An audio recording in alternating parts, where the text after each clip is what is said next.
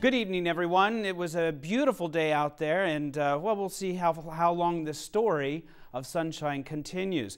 Look at this nice skies across the region, across the Midwest. We do have a little chance of a drizzle or two uh, that will move in in some areas. This will be isolated, but not too bad. And that's the last time I'm going to say that because, you know, when it comes to sunny skies, it is absolutely wonderful weather.